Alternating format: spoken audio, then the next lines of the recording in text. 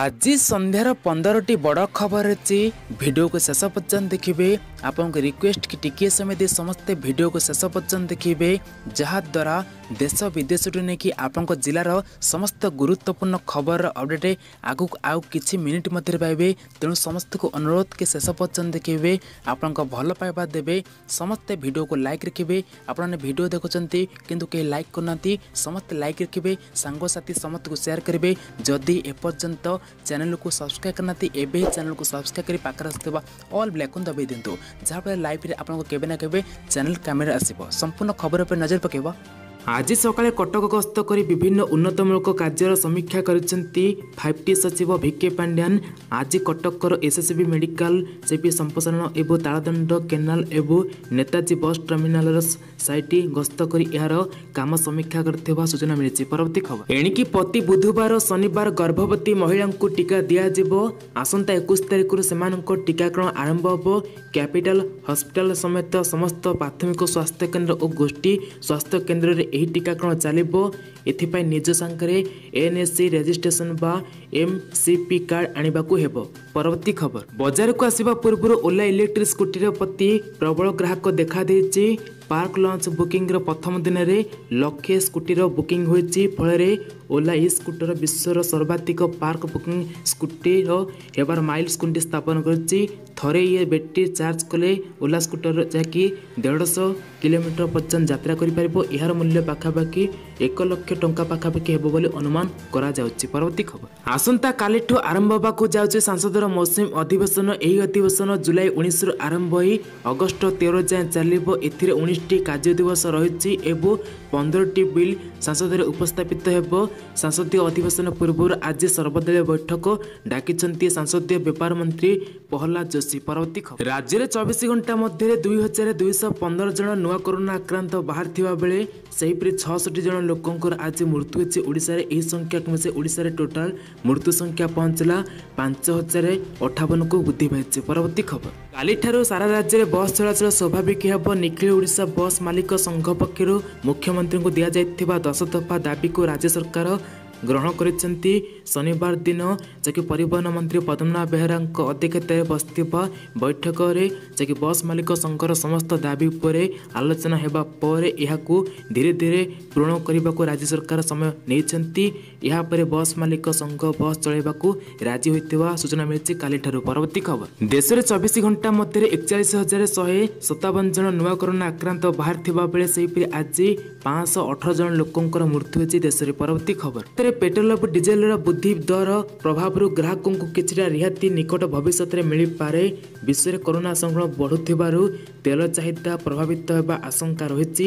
ଏହା ସହିତ ଆଗାମୀ ଦିନରେ ଓପେକ୍ ମଧ୍ୟ ତେଲ ଉତ୍ପାଦନ ବଢ଼ାଇବା ସମ୍ଭାବନା ରହିଛି। ଏହା ହେଲେ ଆନ୍ତର୍ଜାତୀୟ ବଜାରରେ ସଂଶୋଧିତ ତୈଳ ଦର କମିବାର ସମ୍ଭାବନା ରହିଥିବା ଜଣାପଡ଼ିଛି। ପରବର୍ତ୍ତୀ ଖବର। ପୋଲିସ ଡିଜିଙ୍କ ମାଲକାନଗିରି ଗସ୍ତ ଆତ୍ମସମର୍ପଣ କଲେ ଦୁଇ ମାଓବାଦୀ। ମାଲକାନଗିରି ଗସ୍ତରେ ପୋଲିସ ମହାନିର୍ଦ୍ଦେଶକ ଶ୍ରୀ ଅଭୟ ଯାଇଥିବା ବେଳେ ଆଜି ଦୁଇ ମାଓବାଦୀ ଆତ୍ମସମର୍ପଣ କରିଥିବା ସୂଚନା ମିଳିଛି। ପରବର୍ତ୍ତୀ ଖବର। ନଭେମ୍ବର ମାସ ଯାଏଁ କୋଭିଡ କଟକଣା ଲଗାଇ ରଖିବାକୁ ହେବ ବର୍ଷ ଶେଷ ପର୍ଯ୍ୟନ୍ତ ଆମକୁ ସବୁ ନିୟମ ମାନିବାକୁ ହେବ କାରଣ ଅନେକ ଦେଶରେ ଏବେ ତୃତୀୟ ଲହରୀ ଆସିସାରିଲାଣି ଆମେ ସତର୍କ ନହେଲେ ସୁନିଶ୍ଚିତ ସଂକ୍ରମଣ ବ୍ୟାପିବ। ଅକ୍ଟୋବର ଶେଷ ସୁଦ୍ଧା ଓଡ଼ିଶାରେ ସଂକ୍ରମଣ ବ୍ୟାପିପାରେ। ସ୍ୱାସ୍ଥ୍ୟ ବିଶେଷଜ୍ଞ ଡକ୍ଟର ନିରଜ ମିଶ୍ର ଏମିତି ଆଶଙ୍କା କରିଥିବା ଜଣାପଡ଼ିଛି। ପରବର୍ତ୍ତୀ ଖବର। ପ୍ରବଳ ବର୍ଷାରେ ଉବୁଟୁବ ମାୟାନଗରୀ ବର୍ଷା ଯୋଗୁଁ ଜନଜୀବନ ବେହାଲ। ଘଣ୍ଟା ଘଣ୍ଟା ଧରି ବର୍ଷା ଯୋଗୁଁ ମୁମ୍ବାଇର ଅନେକ ସ୍ଥାନରେ ବନ୍ୟା ପରିସ୍ଥିତି ସୃଷ୍ଟି ହୋଇଛି। ଚୁମ୍ବର ଅଞ୍ଚଳରେ କାନ୍ଥ ଭୁଷୁଡ଼ି ବାର ଜଣଙ୍କ ମୃତ୍ୟୁ ହୋଇଥିବା ସୂଚନା ମିଳିଛି। ସେହିପରି ବିକାଲ ଅଞ୍ଚଳରେ ଛଅ ଜଣଙ୍କ ମୃତ୍ୟୁ ହୋଇଥିବା ସୂଚନା ମିଳିଛି। ପରବର୍ତ୍ତୀ ଖବର। ମୁମ୍ବାଇରେ ପ୍ରବଳ ବର୍ଷା ହେତୁ ଦୁଇଟି ଭିନ୍ନ ଭିନ୍ନ ସ୍ଥାନରେ ଘର ଭୁଷୁଡ଼ି ମୃତ୍ୟୁ ସଂଖ୍ୟା ଚବିଶକୁ ବୃଦ୍ଧି ପାଇଛି।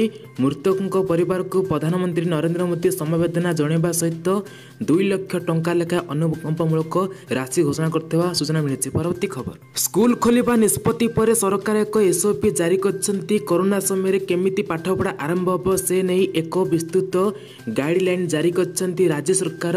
ସ୍କୁଲରେ ପାଠପଢ଼ା ଆରମ୍ଭ ହେବା ପୂର୍ବରୁ ସ୍କୁଲ ପରିସରକୁ ସମ୍ପୂର୍ଣ୍ଣ ସାନିଟାଇଜ୍ କରାଯିବା ପାଇଁ କୁହାଯାଇଛି। ସେହିପରି ପିଇବା ପାଣି ଓ ଶୌଚାଳୟ ବ୍ୟବସ୍ଥା କରିବାକୁ ନିର୍ଦ୍ଦେଶ ଦିଆଯାଇଛି। ଯେଉଁଠି ଶୌଚାଳୟ ବା ପିଇବା ପାଣିର ବ୍ୟବସ୍ଥା ନାହିଁ ସେଠାରେ ସ୍କୁଲ ଖୋଲାଯିବ ନାହିଁ। ଏସ୍ଓପିରେ ଉଲ୍ଲେଖ ରହିଛି ସେହିପରି ସ୍କୁଲ ଆସିବାକୁ ପିଲାଙ୍କୁ ବାଧ୍ୟ କରାଯିବ ନାହିଁ। ଅଭିଭାବକଙ୍କ ଅନୁମତିରେ ଆସିପାରିବେ ଛାତ୍ରଛାତ୍ରୀ। ତେବେ ଅବରୋଧ ଅଞ୍ଚଳରେ ସ୍କୁଲ ଖୋଲିବ ନାହିଁ। କରୋନା ସ୍ଥିତିକୁ ଦେଖି କେଉଁଠି ସ୍କୁଲ ଖୋଲିବ ଜିଲ୍ଲାପାଳ ନିଷ୍ପତ୍ତି ନେବେ ବୋଲି କୁହାଯାଇଛି। ପରବର୍ତ୍ତୀ ଖବର। ପାଣିପାଗ ଖବର ଆସନ୍ତା ଏକୋଇଶ ତାରିଖରେ ଉତ୍ତର ପଶ୍ଚିମ ବଙ୍ଗୋପସାଗରରେ ଏକ ଲଘୁଚାପ କ୍ଷେତ୍ର ସୃଷ୍ଟି ହେବାର ସମ୍ଭାବନା ରହିଛି। ଏହାର ପ୍ରଭାବରେ ଆସନ୍ତା କାଲିଠାରୁ କୋରାପୁଟ ନବରଙ୍ଗପୁର ନୂଆପଡ଼ା କଳାହାଣ୍ଡି କନ୍ଧମାଳ ବଲାଙ୍ଗୀର ବରଗଡ଼ ଝାରସୁଗୁଡ଼ା ଦେବଗଡ଼ ମାଲକାନଗିରି ରାୟଗଡ଼ା ଗଜପତି ସୁନ୍ଦରଗଡ଼ କେନ୍ଦୁଝର ମୟୂରଭଞ୍ଜ ଓ ଗଞ୍ଜାମ ଜିଲ୍ଲାରେ ଘଡ଼ଘଡ଼ି ସହିତ ହାଲକାରୁ ମଧ୍ୟମ ଧରଣର ବର୍ଷା ହେବାର ବୋଲି ଆଞ୍ଚଳିକ ପାଣିପାଗ ବିଜ୍ଞାନ କେନ୍ଦ୍ର ପକ୍ଷରୁ ପୂର୍ବାନୁମାନ କରାଯାଇଛି। ଏହାଛଡ଼ା ନୂଆପଡ଼ା ନବରଙ୍ଗପୁର କେନ୍ଦୁଝର ଓ ମୟୂରଭଞ୍ଜ ଜିଲ୍ଲାରେ କିଛି କିଛି ସ୍ଥାନରେ ପ୍ରବଳ ବର୍ଷା ମଧ୍ୟ ହେବା ମଧ୍ୟ ଆକଳନ କରାଯାଇଛି। ତେବେ ଏହିସବୁ ଜିଲ୍ଲାଗୁଡ଼ିକ ପାଇଁ କେନ୍ଦ୍ର ପକ୍ଷରୁ ୟେଲୋ ୱାର୍ଣ୍ଣିଂ ଜାରି କରାଯାଇଛି। ତେବେ ଗତ ଚବିଶ ଘଣ୍ଟାରେ ମଧ୍ୟ ରାଜ୍ୟର ଅନେକ ସ୍ଥାନରେ ମଧ୍ୟ ବର୍ଷା ହେଉଛି ଆଗକୁ ମଧ୍ୟ ବର୍ଷା ହେବ ପୁଣି ଲଘୁଚାପ ଆସୁଛି। ଏକୋଇଶ ତାରିଖ ଠାରୁ ପରବର୍ତ୍ତୀ ଖବର। ବାହୁଡ଼ା ଯାତ୍ରା ପାଇଁ ପୁରୀ ସହରରେ ଲାଗୁ ହେବ ଶହେ ଚଉରାଳିଶ ଧାରା।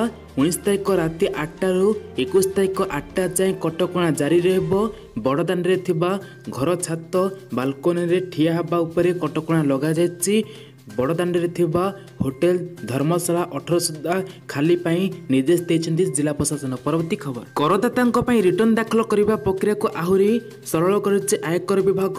ଏଣିକି କରଦାତା ନିକଟରେ ଥିବା ଡାକଘରେ ଆୟକର ରିଟର୍ଣ୍ଣ ଦାଖଲ କରିପାରିବେ। ଏହା ପୂର୍ବରୁ ଚଉଦ ଜୁଲାଇରେ ଯାହାକି ଇଣ୍ଡିଆ ପୋଷ୍ଟ ପକ୍ଷରୁ ଟ୍ୱିଟ୍ କରି ଏନେଇ ସୂଚନା ଦିଆଯାଇଥିଲା ଏବେ କରଦାତା ନିକଟସ୍ଥ ଡାକରେ ଦେଇପାରିବେ ପରବର୍ତ୍ତୀ ଖବର। ଜୁଲାଇ ତିରିଶରୁ ଆରମ୍ଭ ହେବ ମାଟ୍ରିକ ଅଫଲାଇନ୍ ପରୀକ୍ଷା ବିନା ମାସ୍କରେ ପରୀକ୍ଷା ଦେଇପାରିବେନି ଛାତ୍ରଛାତ୍ରୀ। ଏଥିସହିତ ଥାମଲିଂ ସ୍କାନିଂ ଏବଂ ସାନିଟାଇଜର ବାଧ୍ୟତାମୂଳକ କରାଯାଇଛି। ପରୀକ୍ଷା କେନ୍ଦ୍ରରେ ସ୍ୱତନ୍ତ୍ର ଆଇସୋଲେସନ୍ ରୁମ୍ ରହିବ। ପରୀକ୍ଷା ପୂର୍ବରୁ ଏବଂ ସାରିବା ପରେ ଗୃହକୁ ସାନିଟାଇଜ କରାଯିବ। ଅଗଷ୍ଟ ଦଶରୁ ପନ୍ଦର ମଧ୍ୟରେ ପରୀକ୍ଷା ଖାତା ମୂଲ୍ୟାୟନ ହେବ। ଅଗଷ୍ଟ ବାଇଶ ମଧ୍ୟରେ ରେଜଲ୍ଟ ବାହାରିବ। ଏନେଇ ଶନିବାର ବୋର୍ଡ଼ ସୂଚନା ଦେଇଛନ୍ତି ଗଣଶିକ୍ଷା ସଚିବ। ଏଥିସହିତ ଏଣିକି ଯେକି ସିବିଏସ୍ଇ ଢାଞ୍ଚାରେ ନବମ ଓ ଦଶମ ଶ୍ରେଣୀ ପିଲାମାନଙ୍କ ମୂଲ୍ୟାୟନ କରାଯିବ ବୋଲି ସଚିବ କହିଛନ୍ତି। ପରବର୍ତ୍ତୀ ଖବର।